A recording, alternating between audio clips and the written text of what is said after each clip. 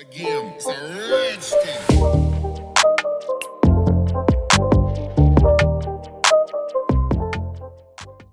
What is going on guys, welcome back. In this little video today I want to show you how you can instantly find files on Windows with a little tool called Everything.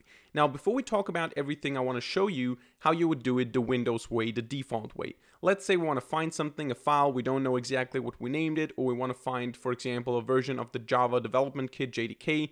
Uh, we don't know which uh, we have on the hard drive. What I can do on Windows is I can just press the Windows button and I can type I don't know, JDK. And in this case, you can see, okay, I have JDK 17, but I know I also have JDK 11. So how can I find it? Maybe by typing JDK 11. No, it doesn't find it.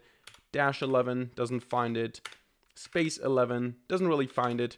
So what can I do in order to find the Java development kit? Now, what I could do is I could go to the Explorer.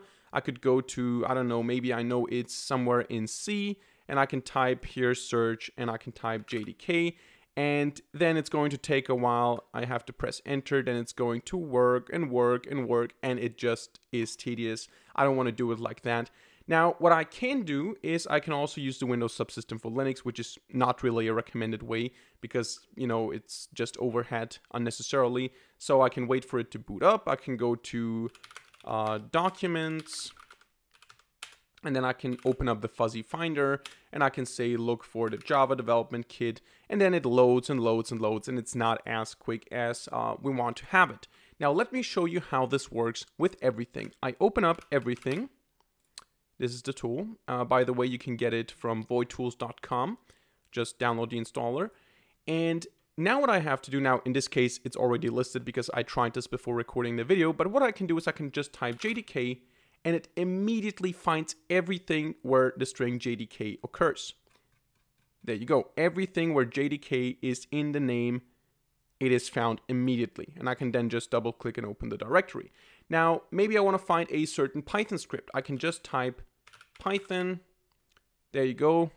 Now we see all sorts of directories. I can also say, okay, look for uh, documents.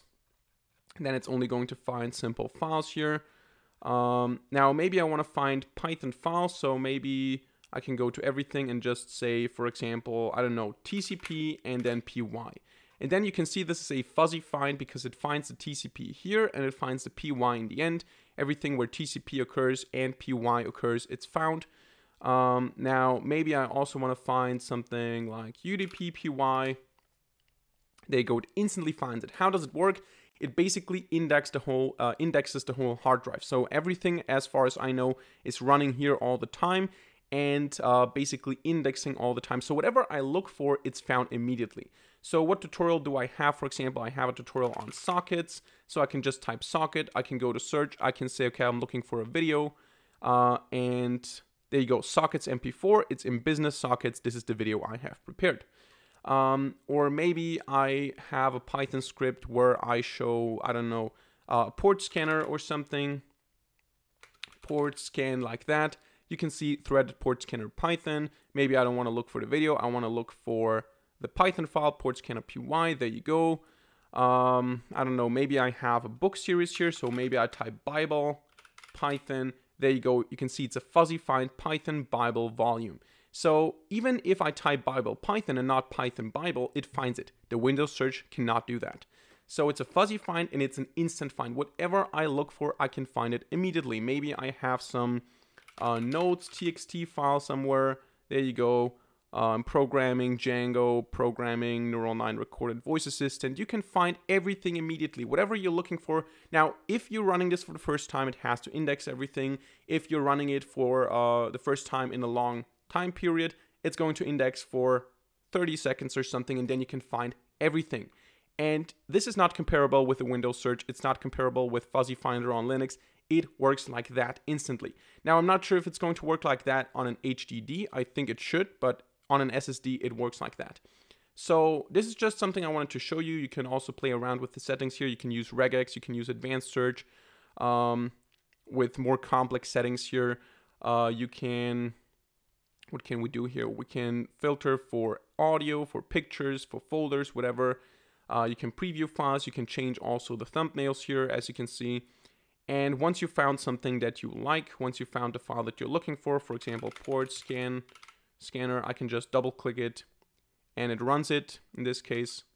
Uh, or I should be able to right click it, open path, and there you go. And you can find stuff instantly. So that's it for this little video today. It wasn't too fancy, nothing too complicated. I just wanted to show you that tool because I really enjoy using it and I know that a lot of people struggle on Windows with finding files. So if you liked that video, let me know by hitting the like button and leaving a comment in the comment section down below. Also, don't forget to subscribe and hit the notification bell to not miss a single future video for free. Other than that, thank you very much for watching. See you in the next video and bye.